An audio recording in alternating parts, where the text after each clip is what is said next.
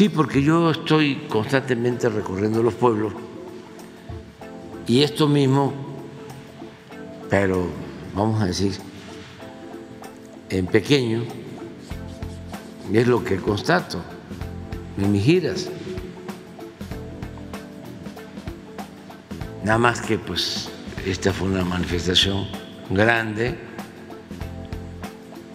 y se expresa más todavía esa solidaridad.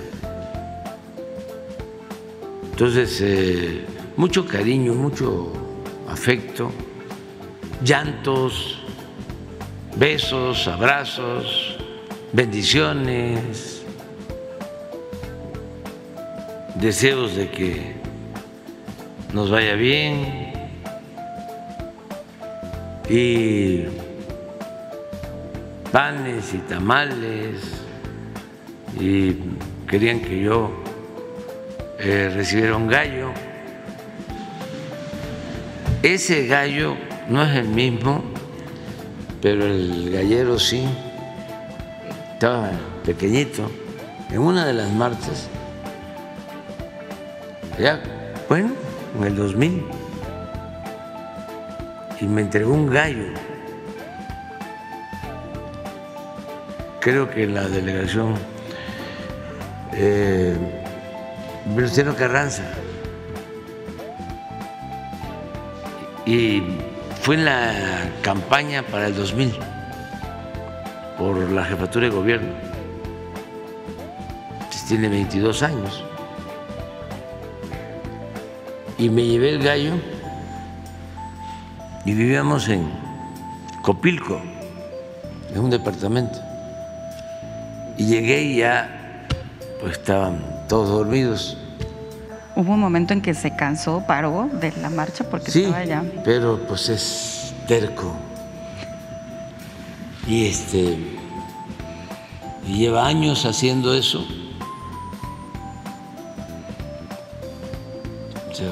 con su cámara al hombro, pesa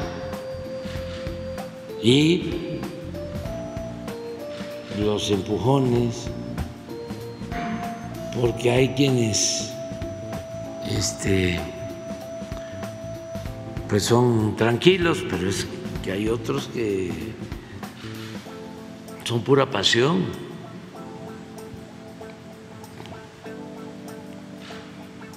Se lanzan fuerte, pero nadie con eh, deseos de hacer daño. Y si estuvo Jesús, ¿ah? salimos juntos en lo que iba a ser la descubierta, pero se fueron quedando eh, por lo mismo, estaba muy fuerte la presión y se pudo organizar de otra manera, pero la idea era, a ver, vamos a hacerlo. Este fue un como siempre.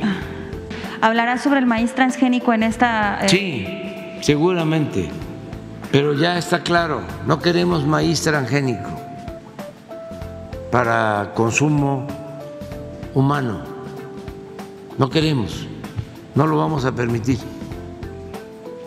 Este, vamos a seguir eh, produciendo maíz blanco para consumo humano y somos autosuficientes en maíz blanco. Donde está el problema es en el maíz amarillo para eh, forraje. Entonces, este eh, esa es nuestra política y va a continuar así. Pero hay formas de ponernos de acuerdo. Esta misión, esta tarea, ya no falta mucho, son dos años, menos, 20 meses, 21 meses. Entonces, estamos bien, ayuda al deporte, ayuda a caminar, ayuda el béisbol, el fútbol, el básquet, todos, y decirle a nuestros representantes de la selección mexicana de fútbol que adelante, que esto no se acaba hasta que se acaba, que hay que echarse para adelante siempre. No se puede vencer al que no sabe rendirse. Ánimo, el fin eh, de la vida pública política. Y ya no vuelvo a publicar hasta tres, cuatro años hacia adelante, porque me voy a dedicar a eso, a escribir. Pero es un libro que ya les he explicado, que me va a llevar varios años, que es una investigación. Voy a reunir toda la bibliografía que necesito para escribirlo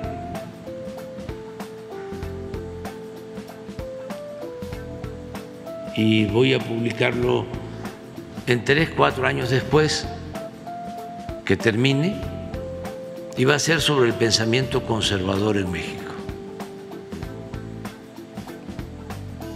Una investigación. Hay un libro parecido, bueno, hay dos. Hay uno de García Cantú, que se llama El pensamiento reaccionario en México o algo así.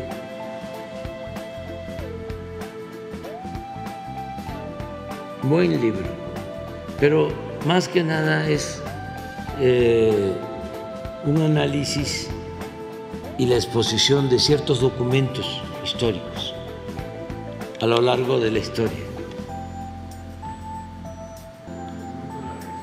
¿Cómo? El pensamiento de la reacción mexicana. Y hay otro que se llama el conservadurismo en México. Así como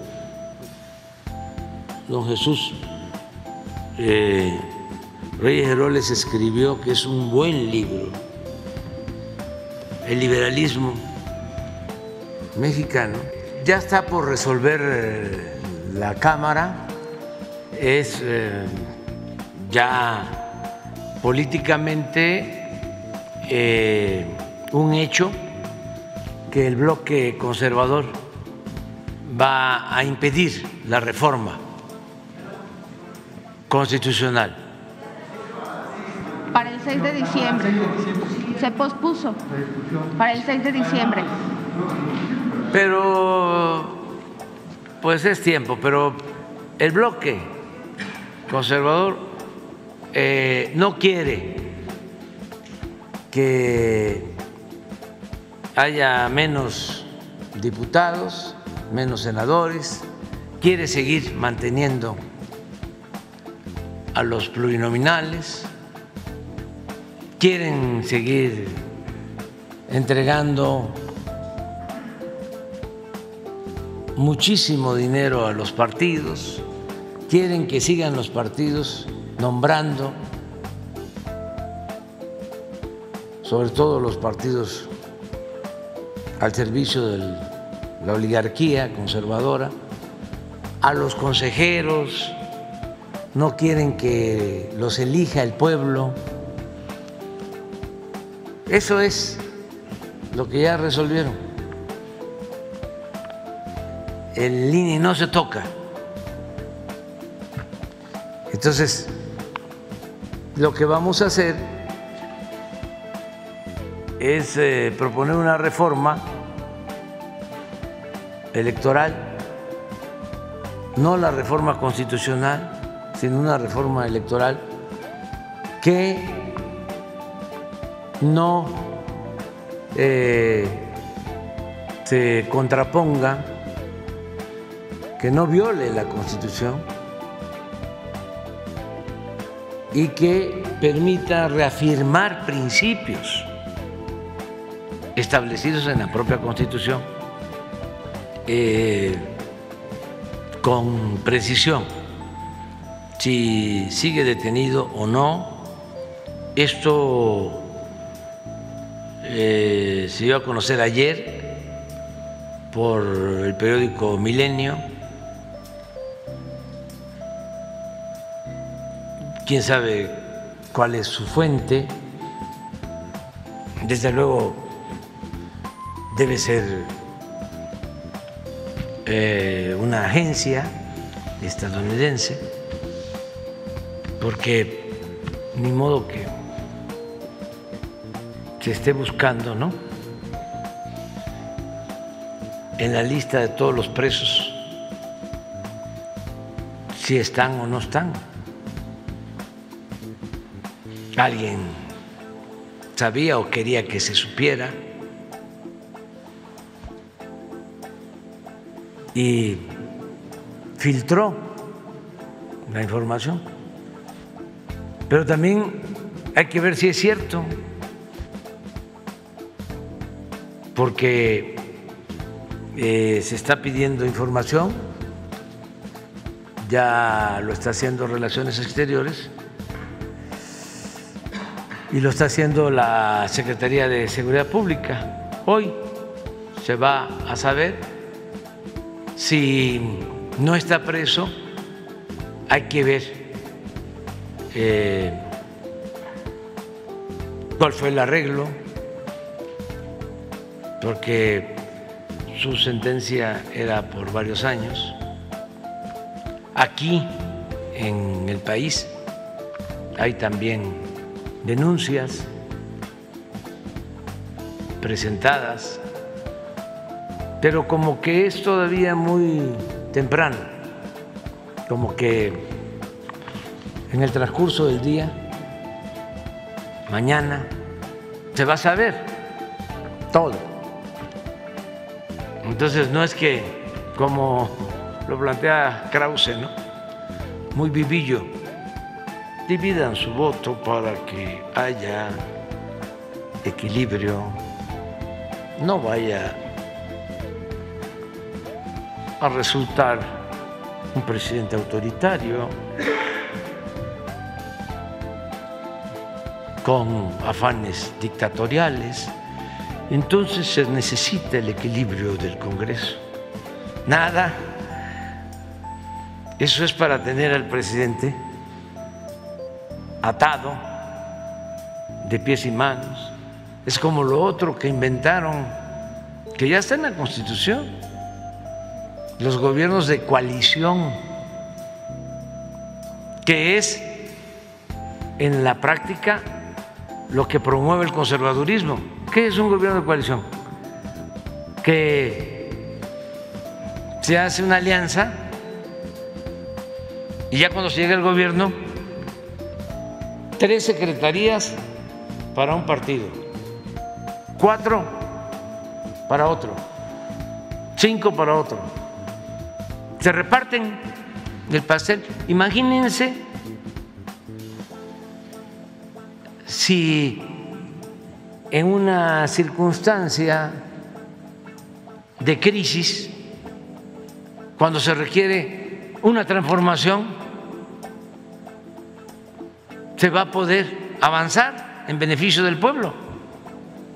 No, el gobierno se fracciona, no hay un plan para transformar, es mantener a la cúpula cooptada, comprada, y el gobierno paralizado sin atender al pueblo. Eso es lo que han venido promoviendo. Informamos sobre la pandemia de COVID en México y en un comentario en el mundo. Eh, empiezo comentando sobre el mundo. Eh, afortunadamente, las tendencias de aumento en el número de casos que se tenían en una gran cantidad de regiones del mundo se estabilizaron En este momento solamente la región de Oceanía, el Pacífico Sur, tiene un incremento sostenido de casos. En particular la región europea y la región de América del Norte, que parecían que iban a tener un crecimiento sostenido, no lo tuvieron y en este momento están en estabilidad. Eso es alentador porque obviamente, como hemos comentado siempre, en la medida en que permanezca activa la transmisión del virus SARS-CoV-2 causante de COVID en cualquier parte del mundo, puede afectar a cualquier otro país, incluido el nuestro. En nuestro país, eh, como alertamos también desde hace varios meses, desde el verano, eh, después de un periodo de descenso, podría ser que tuviéramos un cambio en la tendencia y empezáramos a tener mayor número de contagios. Esta situación es la que estamos presentando. Eh, aproximadamente desde la semana 43 ya no siguió reduciéndose el número de casos y desde la semana 45, en este momento estamos en la semana 48, empezó un incremento progresivo. Pero afortunadamente el incremento no es acelerado, es mucho más lento de lo que fue la reducción de casos y esto es muy importante tenerlo presente. Como podemos ver en la curva epidémica y en la tabla que se muestra ahí en las últimas cinco semanas, justamente a partir de la semana 43, vemos que hay mayor número de casos en una semana comparado con la semana inmediata anterior. Pero pueden ver la curva, es un crecimiento eh, por el momento mínimo, lo que se aprecia en el punto final de la curva, en el lado, eh, el extremo derecho, según lo que ven ustedes directamente. Si vemos en la siguiente imagen, eh, por su parte, el indicador de ocupación hospitalaria incrementó de 3 a 4% para las camas generales. Les decía yo ayer de que una diputada Armendáriz fue a la Feria del Libro de Guadalajara y quiso hacer un planteamiento sobre nuestro proyecto y le empezaron a gritar Y dice Denise Dresser, eh, allá en la Feria de Guadalajara, aquí me siento este, tranquila, protegida, porque en el Zócalo me tratan mal. No deberían de tratarla mal en ninguna parte, a nadie, pero sí da una idea de cómo estos este, intelectuales orgánicos, escritores, periodistas, pues este, tienen sus espacios.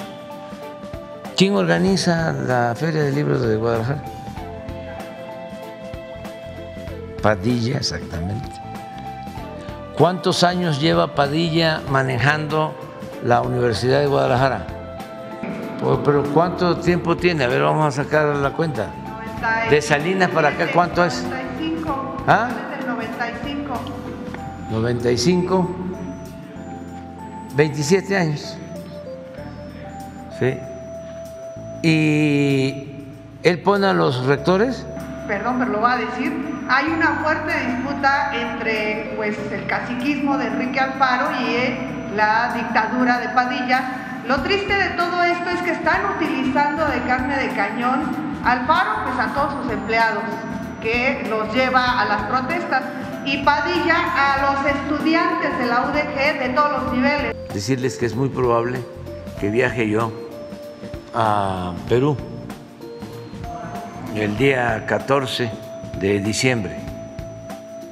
Eh, para la reunión de la Alianza del Pacífico.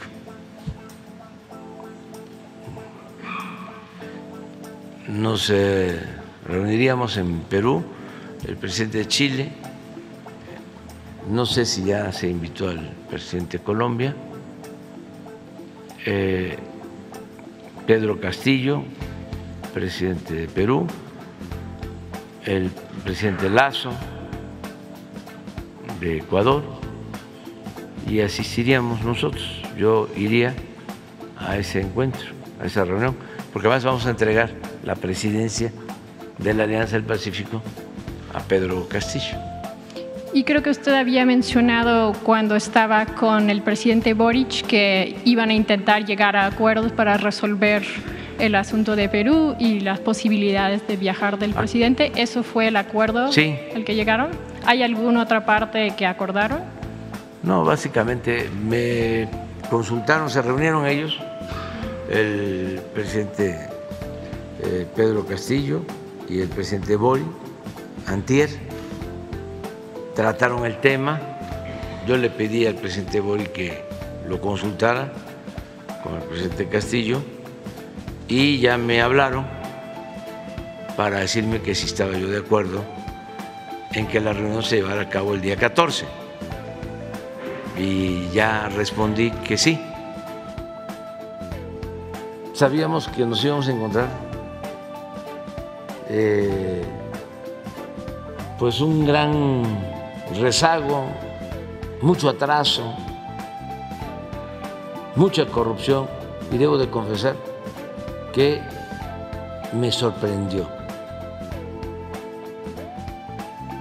El grado de corrupción que imperaba. Sí tenía yo una idea, pero no. El gobierno era un facilitador del saqueo y estaba eh, destinado a beneficiar a una minoría. Una banda de malhechores.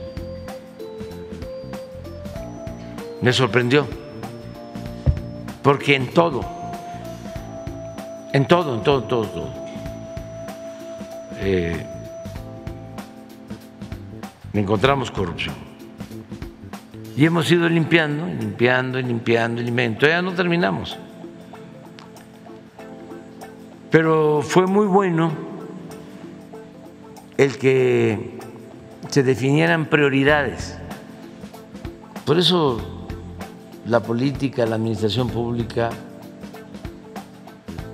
no admite improvisación, no eh, es de ocurrencias.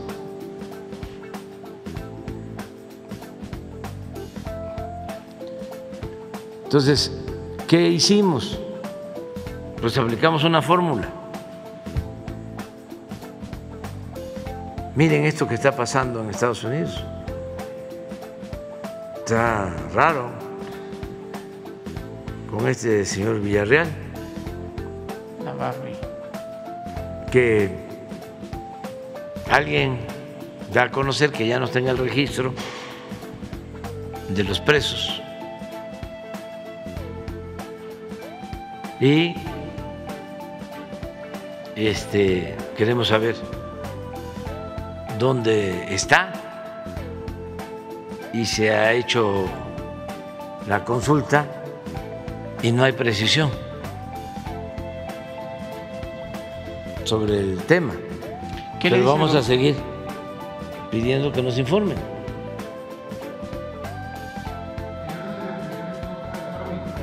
Aquí sí, pero el asunto es lo de Estados Unidos.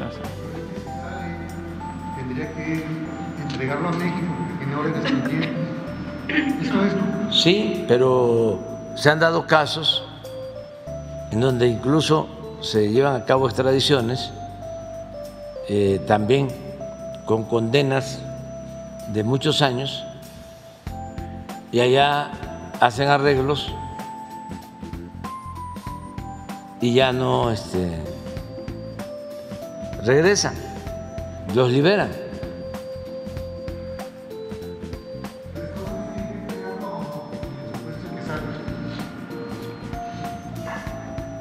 No tiene por qué salir, porque la condena es eh, a muchos años. Pero ahora ya está Solamente que haya un acuerdo. Ah, si se dé el acuerdo de todas maneras, nosotros tendríamos que actuar si hay denuncias en México. Pues hay que actuar.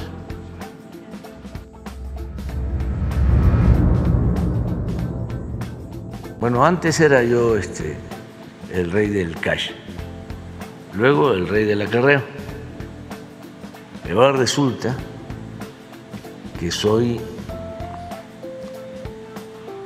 pues el rey de la magia negra.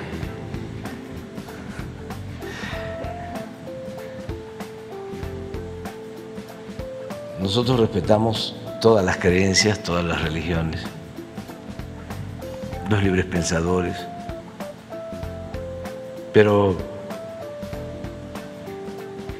este, Pedro Ferriz, porque eso no es este, coraje, odio, eso es este, ya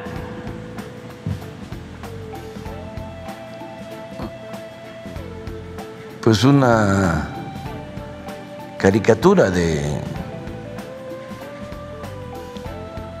de protesta, de cuestionamiento, de crítica, ¿no? No, no pasa de eso.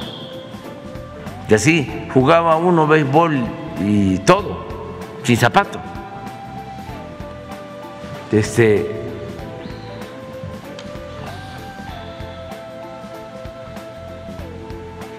Mire cómo dice, es un secreto a voces. Así es, así. AMLO recurre a diario a brujería, santería, magia negra y rituales de muerte para llegar y acumular poder.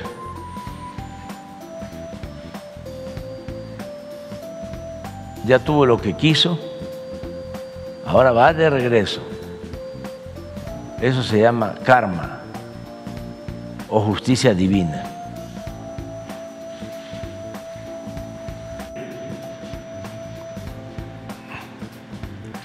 Muy bien. Y nos dieron momentos de de alegría, de felicidad y también de esperanza.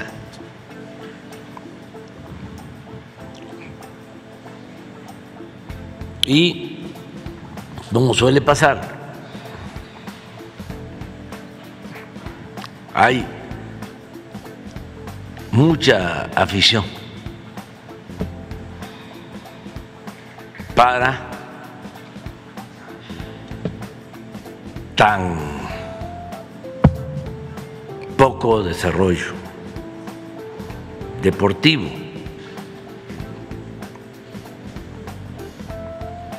en esta disciplina. Entonces lo que se tiene que hacer por respeto a la gente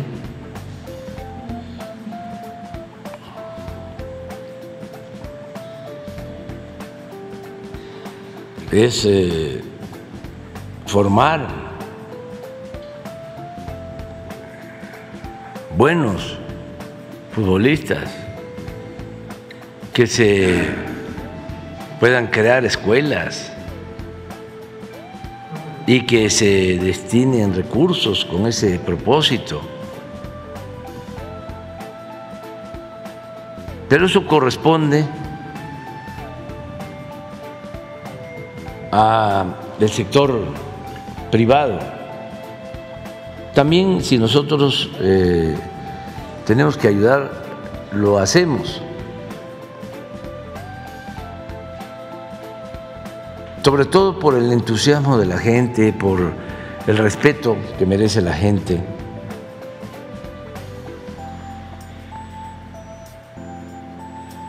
Esa es mi opinión. Y este también puse lo de los... Pero nos vamos a ver el día 14 que vamos a ir a Lima, Perú. Hablé con el presidente Petro y nos va a acompañar y va a estar también el presidente de Chile. Estaba por confirmar el presidente de Ecuador. Esto para el día 14 de diciembre. También eh, ya se está empezando a elaborar la agenda de la visita del presidente Biden y del primer ministro Trudeau para el día 9 y 10 de enero. Eso es lo que tenemos hasta ahora. Esa reunión en Colombia posiblemente sea después de la visita del presidente Biden de esta cumbre en la Ciudad de México, pero sí tenemos este, ese compromiso con el presidente Gustavo Petro, que es un gobernante muy responsable y le tenemos mucha confianza. Creo que Colombia avanzó mucho felicito al pueblo de Colombia por la elección de su presidente. Les voy a dar a conocer la encuesta de hoy, de la que se hace desde Estados Unidos, una empresa, todos los jueves.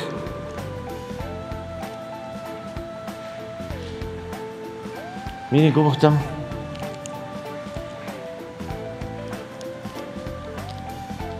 Sigue Modi arriba, pero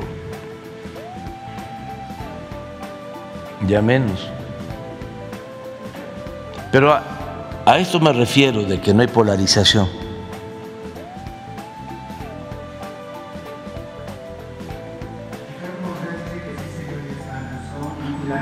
Pero pues este esté en su derecho, como todos. No podemos pensar todos lo mismo, yo estoy dando nada más mi opinión.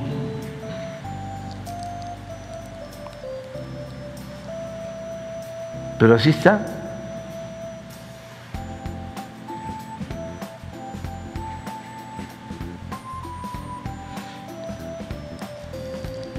Y también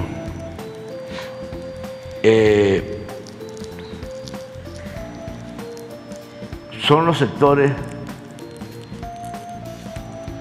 a los que estamos apoyando más por humanismo, porque hay que darle más al que tiene menos, la justicia significa eso, no puede haber trato igual entre desiguales, pero también sectores medios que no son fifís, ni aspirantes a fifís. Porque también no cualquiera puede ser fifí. Yo no me voy a meter, pero sí voy a apoyar al que gane la encuesta. Es decir, al que el pueblo eh, elija con este método a ese voy a apoyar, mujer o hombre. Eh, y estoy seguro que todos los que participen o los que están participando están conformes con ese método porque no hay favoritismo los que están para eh, ser candidatos de nuestro movimiento son de primera. Me siento yo muy contento, muy satisfecho. no son iguales porque cada quien tiene su personalidad, su criterio, su formación, pero son eh, gentes con mucha experiencia. Sería lamentable que después de iniciar un proceso de transformación no tuviésemos relevo.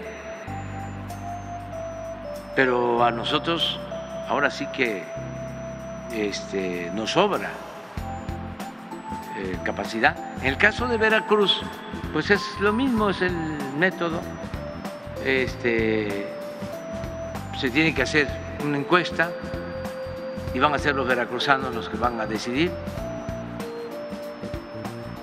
Rocío está terminando la refinería de Dos Bocas.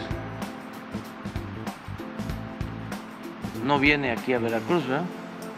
Pues están en su papel. Es eh, una oposición que no ha podido levantar el vuelo porque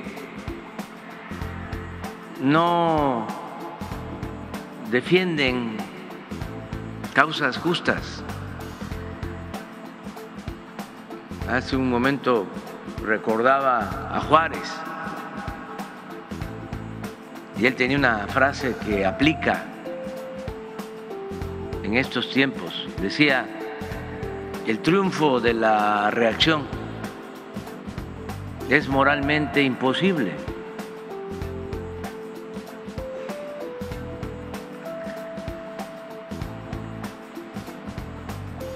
No hacen más que eh, denunciar y criticar y cuestionar insultar, pero no hay imaginación, no hay talento, como no tienen convicciones, porque para hacer política se necesita tenerle amor al pueblo. y ellos son simuladores. Por eso no han podido. Y nos acusan de todo. Así está lo del huachicol. Esto es de ayer. 5.6. O sea, son 5.600 barriles diarios. Lo que se robaron ayer en todo el país. Y el promedio es este, 5.600. Cuando entramos estaba así, miren. Se llegaban, se llegaron a robar 80 mil barriles diarios. Aquí tomamos una decisión fuerte y empezamos a bajarlo y ahí lo llevamos. Tenemos el apoyo de la Secretaría de la Defensa, de la Secretaría de Marina. Aquí en Veracruz hemos eh, logrado disminuir bastante el huachicol. Seguimos teniendo problemas en Hidalgo y en Puebla. Y qué bien que preguntas porque debe saberse que se hizo una reforma a la Constitución y es delito grave. Eh, al que se le detiene no eh, tiene derecho a fianza y a veces no se sabe pero sí se está castigando mucho.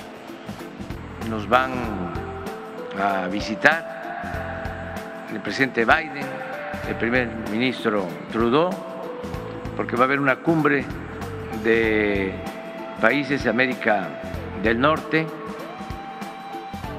que tiene que ver con el tratado, también acuerdos eh, bilaterales, México, Estados Unidos, México, Canadá, esto para el 9 y 10 de enero.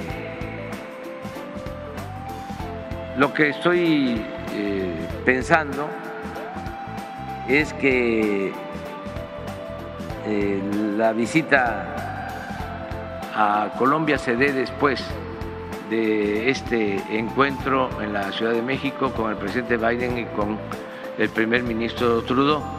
Y ahí sí quiero, eh, en esa cumbre de América del Norte, tratar de nuevo lo de la integración de América. Porque eh, está demostrado que nos ayuda la integración económica con respecto a nuestras soberanías. Eh, a México le está yendo bien,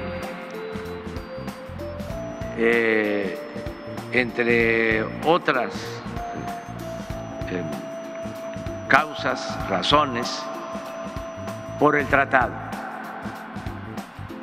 México es de los países, si no es que el país más atractivo para la inversión extranjera por el tratado eh, con Estados Unidos y Canadá.